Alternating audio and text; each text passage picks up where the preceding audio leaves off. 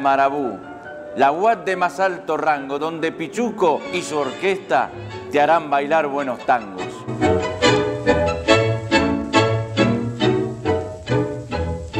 Si vamos a contar la historia del tango, tenemos que contar la historia del Marabú. Y si contamos la historia del Marabú, estamos contando la historia de un Buenos Aires de noche que se vestía de tango. Este Salón Marabú es histórico.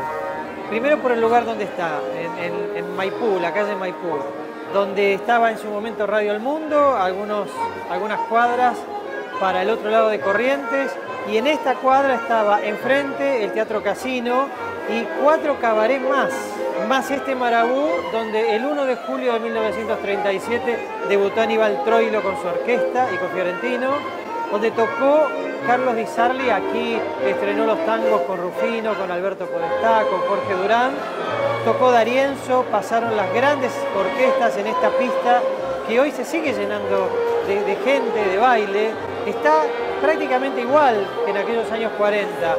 Y a lo largo de todos estos años, este local ha, atravesado una historia increíble. Eh, creo que son pocos los lugares de Buenos Aires marcados a fuego en la historia del tango, y uno de ellos es el Marabú.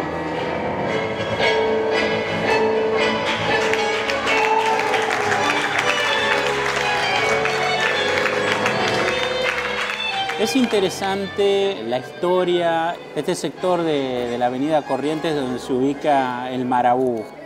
Eh, es un área que desde, podríamos decir, desde mediados del siglo XIX va ya teniendo una vocación de tener lugares de espectáculo. Fíjense que, por ejemplo, el Teatro Colón Viejo está donde hoy está el Banco Nación y todo el sector de La Valle con los cines va conformando un enclave del espectáculo muy importante donde el marabú fue construido, instalado en la, en la década del 30.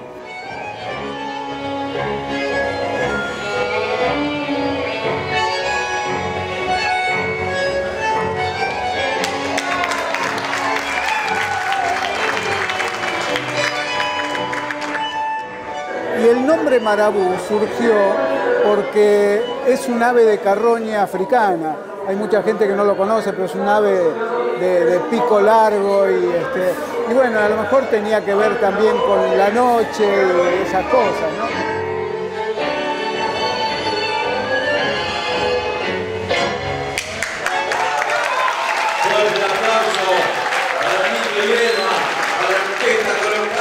Vos podías encontrar a un peón, a un laburante, al bacán, al político, todas las clases sociales. Y las chicas, siempre elegantes, tan distinguidas, que hasta llegaron a ver casamientos. En esta gran combinación de culturas, la italiana, la francesa, la española, que también influyeron en el espectáculo, que es característica de ese Buenos Aires babélico, Justamente durante la década del 30, donde hay tanta explosión creativa en la música, en la escritura de letras para el tango, surge el marabú, ¿no es cierto? En pleno apogeo de todo ese esplendor de Buenos Aires, de la ciudad que no duerme, de Corrientes, ampliada, ¿no es cierto?, que ya tiene el obelisco. Se inauguró un año antes del obelisco, en 1935 ya la noche de porteña tenía lo que sería después una historia de tango y de amores también. Eran espacios subterráneos que estaban en los sótanos de edificios, en el caso del Marabú, en un edificio de renta típico de la época, a metros nomás de, de la calle Corrientes o del Teatro Odeón en la otra cuadra. En estos lugares, digamos, de cabaret, de dancing, eh, se entraba a través de pequeños espacios a un gran lugar, un gran salón, que era un poco una emulación de los grandes espacios de los transatlánticos, de los famosos transatlánticos de esa época, decorados en estilo art déco, con distintas eh, luces, con luces difusas.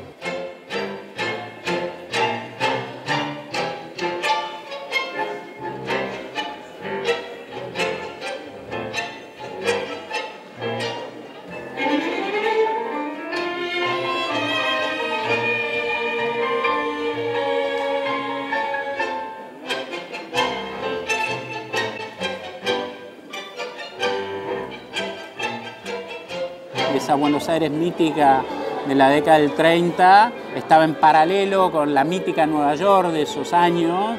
Le Corbusier, cuando viene a Buenos Aires en la década del 20 y después va en la década del 30 a Nueva York, pone a estas dos ciudades, puertos, como grandes focos de la civilización en América. Y bueno, el Marabú es, es, parte de esa época dorada que fue con Nueva York realmente la capital del espectáculo con su apogeo a partir de los años 30.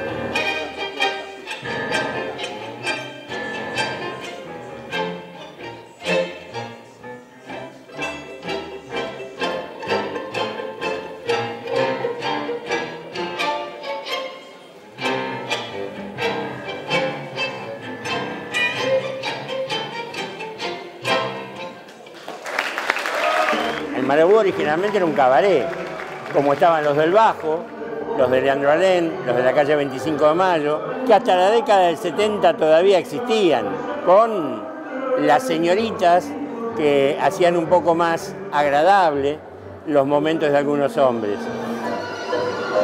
Cuando esta cuadra es una gloria, aparte de Marabú.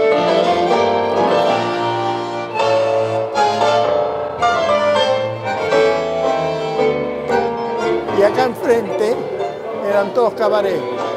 Sombrero de copa, en Niza, Casanova y en Maipú Pigan. Que Maipú Pigan después de esto fue lo mejor, porque esto fue lo más grande que hay.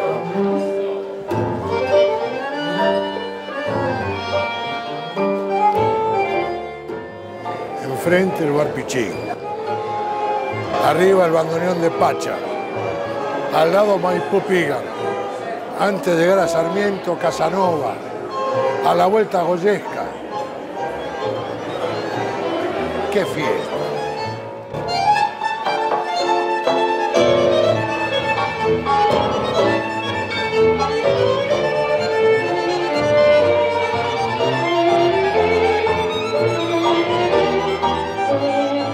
Imaginémonos las historias de los parroquianos del Marabú los que venían al Marabú a tomarse una copa, a escuchar unos tangos, a entablar una conversación con las señoritas que estaban en aquella época.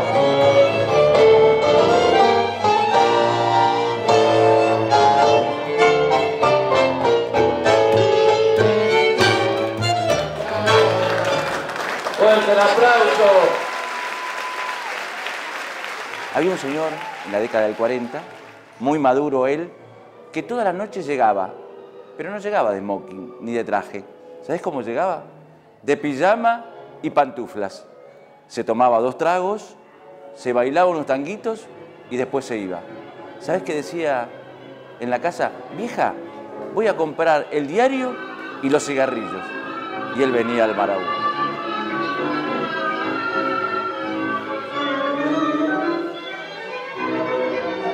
Yo trabajaba en la imprenta de un señor amigo y había un señor cubano, llegaba de traje a las 7 de la mañana, a las 3 de la tarde, paraba de trabajar, se bañaba, se vestía y venía al centro, a las confiterías del centro, todos los días, menos sábado y domingo.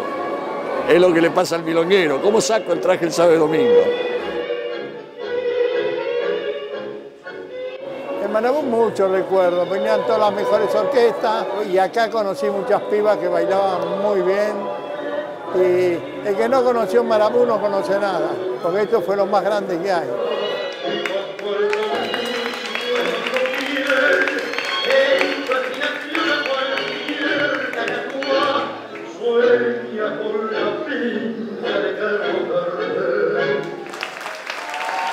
Fuerte el aplauso para Eduardo Pareja Parejita, para Laura Grandi, el aplauso para ellos, Corrientes y Esmeralda.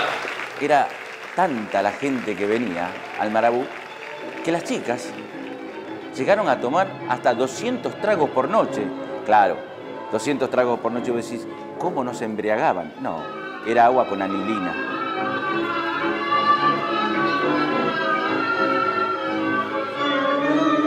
Y una de ellas un día le hizo una broma a Alberto Castillo, se acercó y le dijo, si no nos traes un buen perfume francés, las vedettes no salimos a trabajar.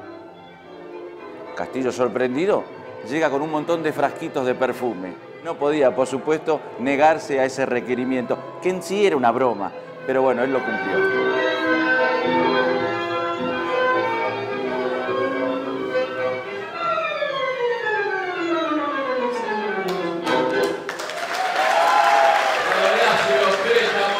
la anécdota más famosa que conozco yo del Marabú y que recuerdo como, como tema es eh, cuando Contursi compuso aquí la historia de Como dos extraños. Historias, historias de tango que dan vida a tangos. Estaba un mozo y llega una mujer, una atractiva joven que venía a trabajar. La relación del trabajo hace que nazca un amor entre ambos y él, profundamente enamorado, dice que quería compartir su vida, un proyecto. Y el corazón me suplicó que te buscara y que le diera su querer. Pasó un tiempo y llega acá al Marabú un hombre y se la quiere llevar. Entonces se arma todo un, un escándalo, salen a defenderla y el tipo este que había llegado presentó la libreta de casamiento. Dice, es mi mujer. Y se la llevó. Pero los compañeros insistieron, tenés que volver a buscarla. Dos años pasaron y él fue a buscarla. Y la encontró. Pero ya no era la misma mujer.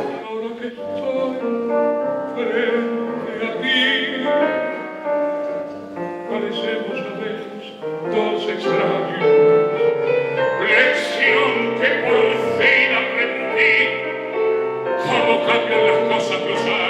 Y ahí con Tursi, con música de Lawrence, crean este tango que fue un éxito, como dos extraños.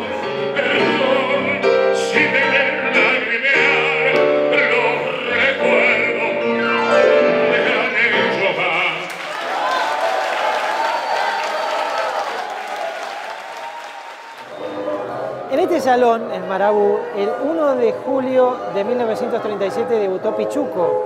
Fue una orquesta de todos jóvenes. El cantor de la orquesta era Fiorentino, un cantor que tenía una larga trayectoria ya, pero que Pichuco lo tomó y le cambió toda la forma de cantar, la estética del canto de Fiorentino.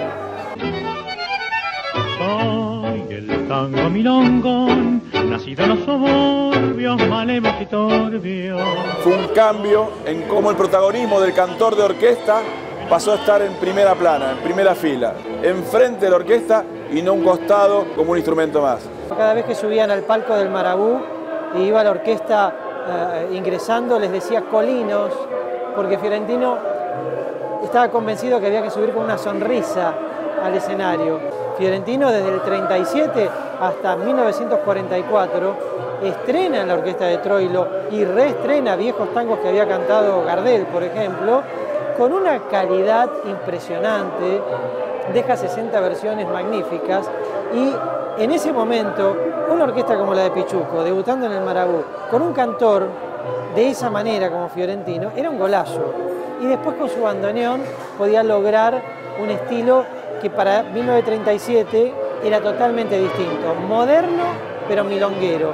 Me gusta compadría, soy reo pa'. Pichuco siempre se rodeó de grandes músicos. Llámese Quicho Díaz en contrabajo, eh, Fanelli eh, violonchelo, Da- David Díaz, hermano de Quicho Díaz. En el tiempo que estaba yo estaba Roberto Goyeneche y Ángel Cárdenas, que estuvieron del 50 y pico al 60 y pico. jamás se olvidaba de los bailarines. Cuando tenía en su repertorio una gran cantidad de temas nuevos, en los días de ensayo, a la tarde, convocaba una pareja de bailarines para tocar esos temas y que la pareja los bailara y saber que lo que estaba tocando se podía bailar a la noche en la pista. Bafa decía que era un lugar que de por sí tenía ya un misterio. A él le encantó volver a tocar acá. Tenía demasiados recuerdos, se emocionó. Y cuando entramos, dice, las paredes están igual, parece todo lo mismo. Dice, yo me acuerdo que cuando entrábamos, enseguida nos recibían las chicas. Tenían prohibido terminantemente entablar conversación con las chicas que trabajaban en el Marabú. Pero siempre se las ingeniaban, no solamente para conversar, sino también para salir por esa escalera con las señoritas del brazo.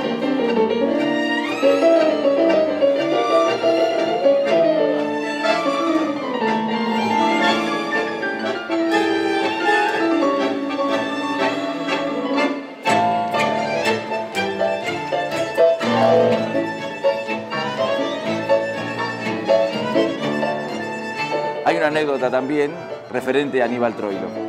Estaba tocando y lo vienen a buscar para llevárselo preso por algunas declaraciones políticas que había hecho, pero no se lo pudieron llevar.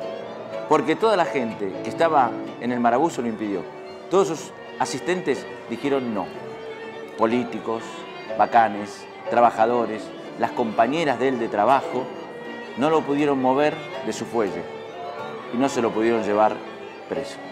Pichuco nunca se olvidó que de acá arrancó esa orquesta. Marabú y la vida de Troilo fueron siempre una pareja que lo, lo siguió toda la vida.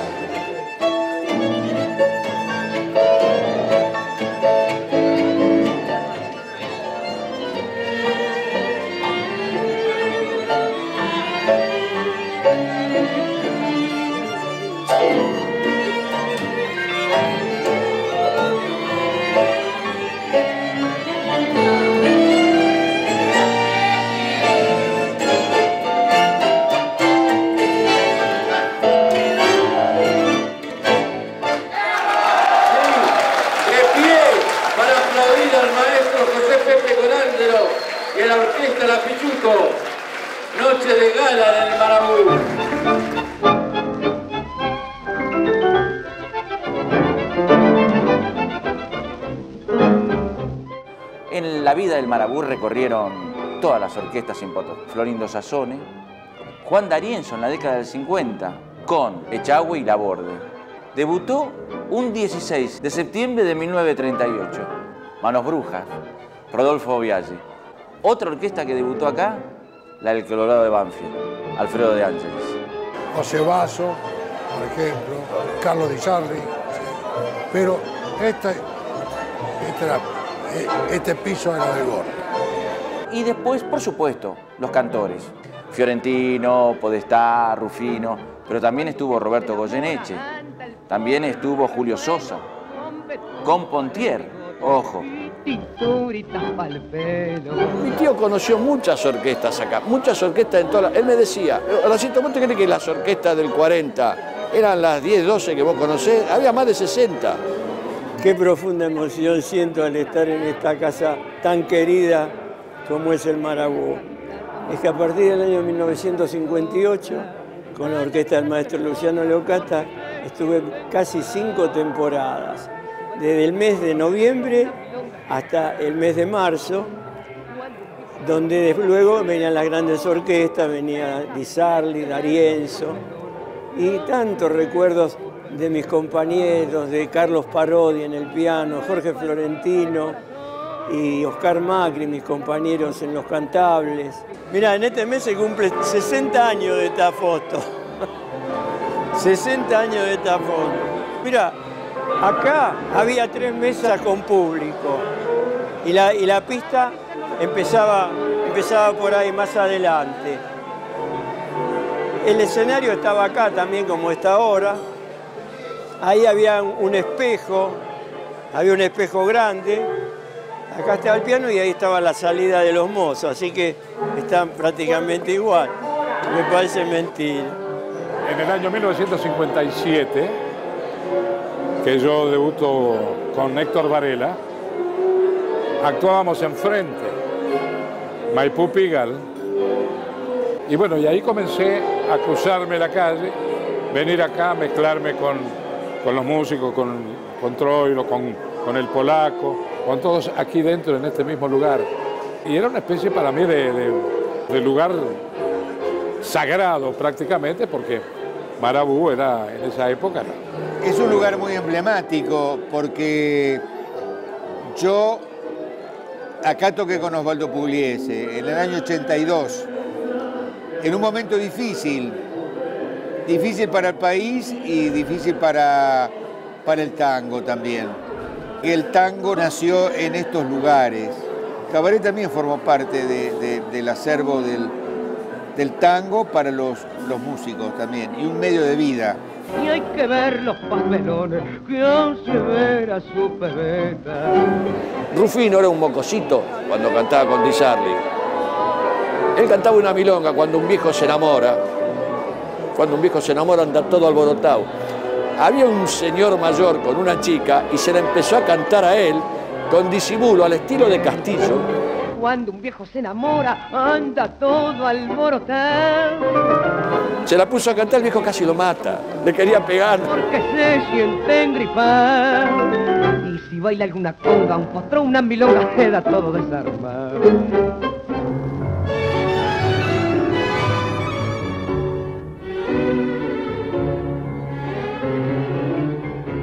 Después de grandes orquestas que debutaron en los años 30, el 40 ubica una orquesta muy decariana, muy bailable, que es la orquesta del maestro de Bahía Blanca, Carlos Di.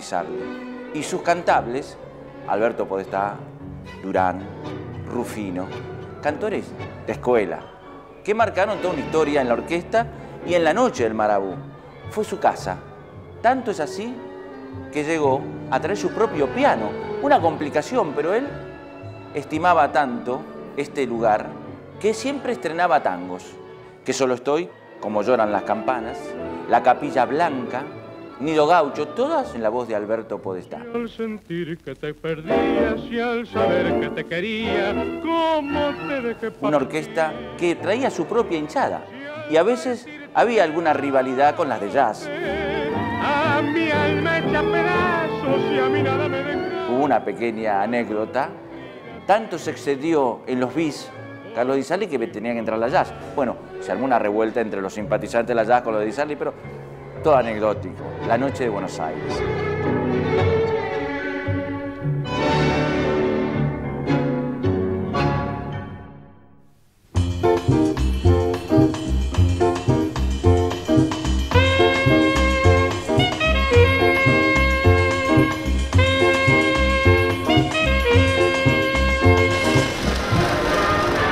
Aeropuerto Ministro Piscarino. Héctor Lomuto, el popular jazzman y presidente de la Asociación Argentina de Directores de Orquestas, parte hacia los Estados Unidos de Norteamérica en una misión de acercamiento con instituciones del mismo carácter.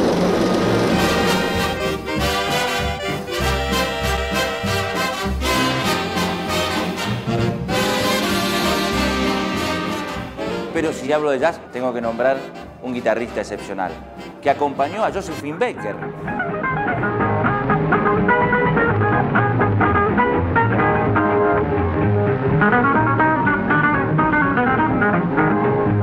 Estoy hablando del tremendo Oscar Alemán.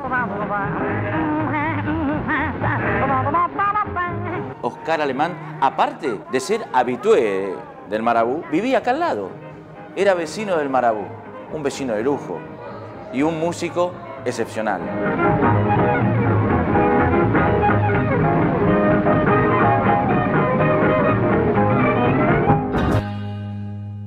Algo que caracterizaba claramente al Marabú era su barra, una barra extensa, larga. Y detrás de ella, Manolete, un gallego sesentón que era el que se encargaba del famoso trago de Marabú, Berlín 45. ¿Y cómo se hacía? Era medio explosivo, porque tenía vodka ruso, cognac francés, gin inglés y whisky norteamericano eran todas las potencias en alcohol.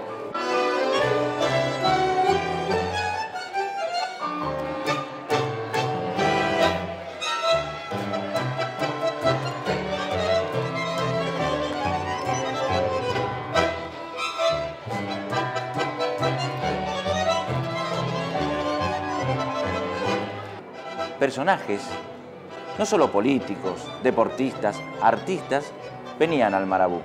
Y entre ellos, por supuesto, Discépolo, De Caro, Cátulo Castillo, Cogo Andreu, Tita Merelo, por supuesto, Olinda Bozán, Iris Marga, Marco Zucche, Enrique Cadica, Momero Mansi, José María Contursi.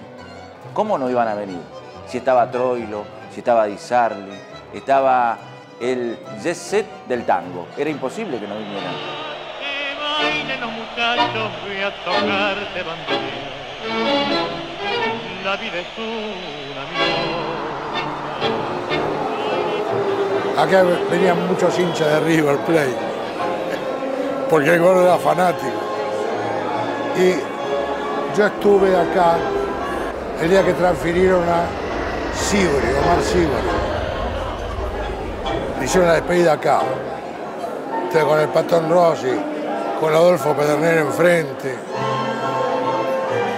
Siempre había motivo para pasar la vida, porque la gente te daba motivo.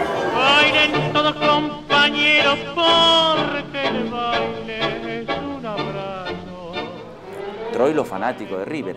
Y cuando vino Di Charlie, Alberto Podestá también era fanático de River. Es decir, que la Bruna y los muchachos, Moreno, Lustó, Pedernera, pudieron continuar asistiendo al Marabú porque estaba Di Sarli y estaba Albertito Podestá, que era hincha de River. Por supuesto, el hincha más fana era Aníbal Troilo, un símbolo riverplatense que tiene hoy en la confitería de River su rostro como un ángel. Bueno, ¿cómo no iban a venir esa, esa máquina? Si había otra máquina acá tocando. Se tenían que asociar.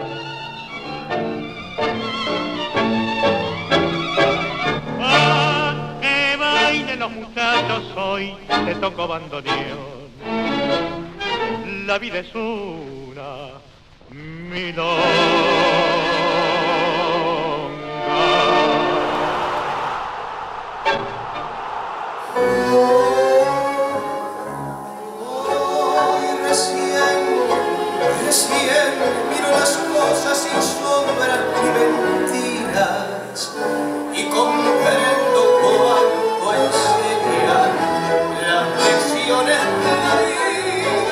remozar de nuevo estos lugares es fantástico para el tango, porque el tango necesita de estos lugares.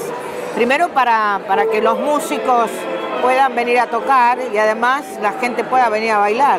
Y en un lugar típico de Buenos Aires, por supuesto, ¿no? Y la primera vez que entré, para mí fue mágico.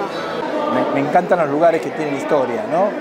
Tiene el clima, tiene el momento, tiene la pista que es maravillosa, el piso es maravilloso. Es fantástico que todavía en una ciudad como Buenos Aires se conserve el lugar y que se pueda bailar con orquestas en vivo.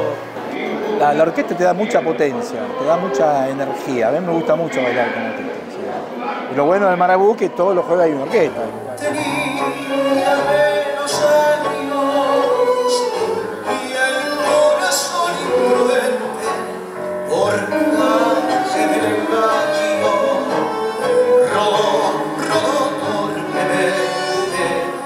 Julio fue un rey de la noche.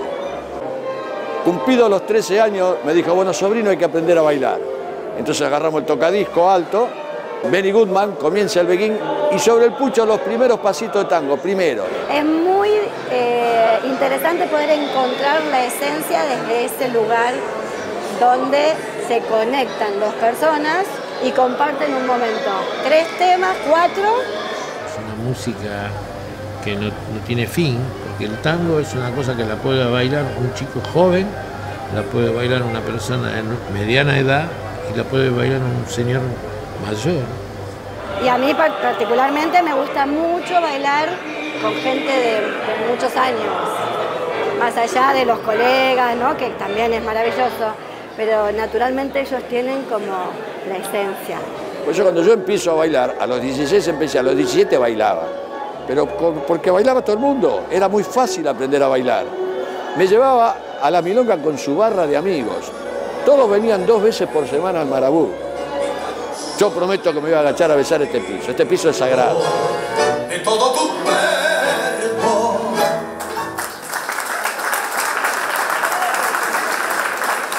Y pensar que esta voz que te voy a nombrar ahora no la querían dejar grabar. Increíble, con Horacio Salgán, no la querían dejar grabar. Y Horacio dijo, si no graba él, no graba la orquesta. El feo, el mundo Rivero. Y en la década del 80 le brindó un especial para la televisión al Marabú. Vos lo vas a ver bajando la escalera del Marabú.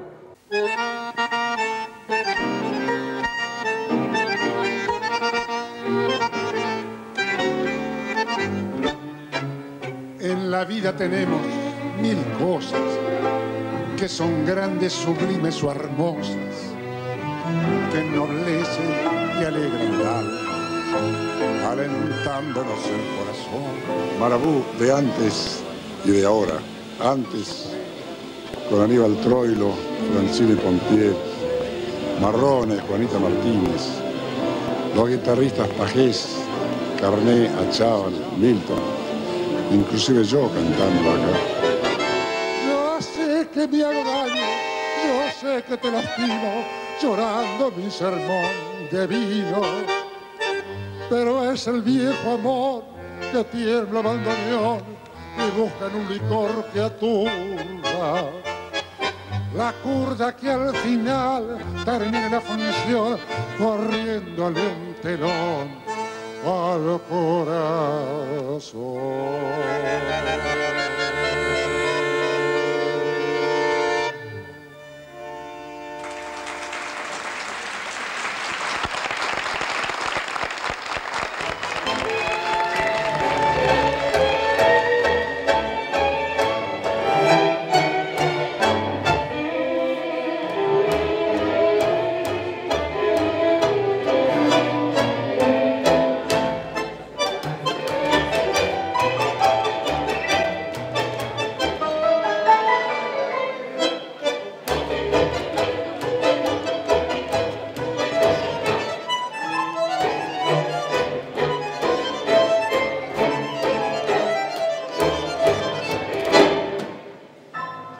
Esa época yo tenía una comparsa, Araca la Cana, que desfilaba por Avenida de Mayo los carnavales.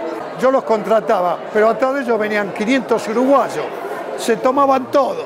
Era cosa de loco. Aparece un hombre, pasa y me dice, le quiero alquilar Marabú. Digo, mire, los carnavales es el aguinaldo mío. Me dice, ¿cuánto gana usted? 80 mil pesos. Le dije por cualquier cosa. Le doy 100 mil. 5 de la mañana. ¿Qué negocio puede hacer? Digo, está bien. Pero lo quiero todo en efectivo. No hay ningún problema. Bueno, toco el timbre, suba. Atiné a decirle, ¿está el efectivo? Sí, señor. En bolsa de residuo. Los 100 mil pesos en bolsa de residuo. Y empiezan a bajar equipo, equipo. Digo, este me arruina. ¿Cuándo voy a pagar de electricidad yo? Al otro día empieza cola, cola. Toda la vuelta, toda la vuelta. ¿Quién es la cabeza? Venían los clubs, Soda Estéreo, Viru y los abuelos de la nada.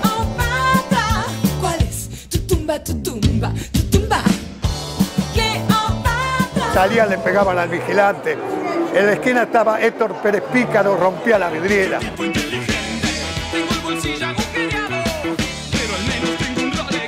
Lo he logrado.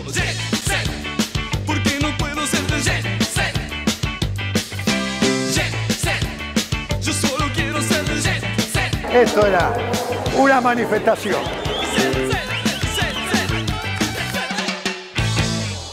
Y bueno, tengo otra anécdota. Año 82, año del proceso. Un día aparece un diputado de parte de Lorenzo Miguel. Hay que hacer un homenaje para Hugo del Carril.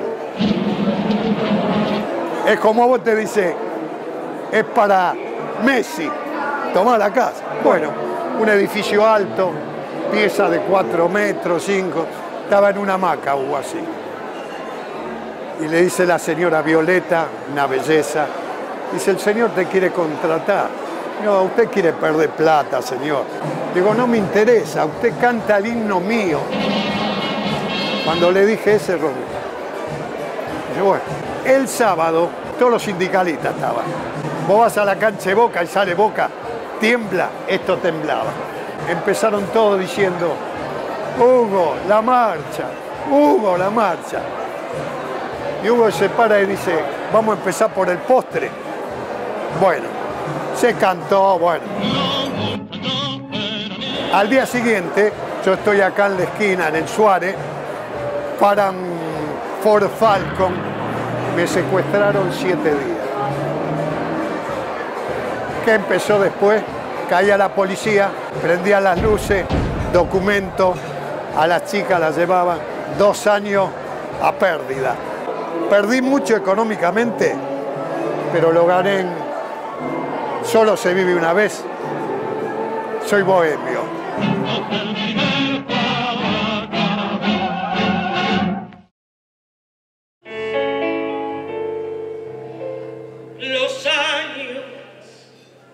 De la infancia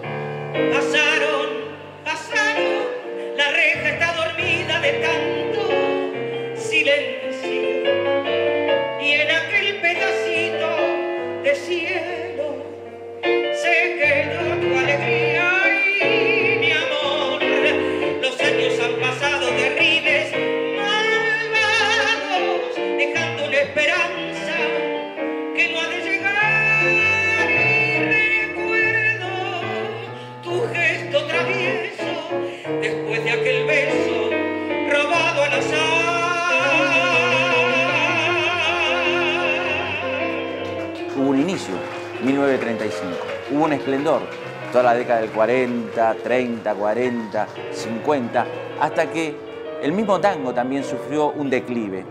Fueron cerrando los cabarets. Y el Marabú no fue ausente a eso. Cerró también sus puertas, pero ojo, se abrió dos veces más. Y hoy, como el ave fénix, surge de sus cenizas y por suerte viene a renovar nuestra pasión, el tango.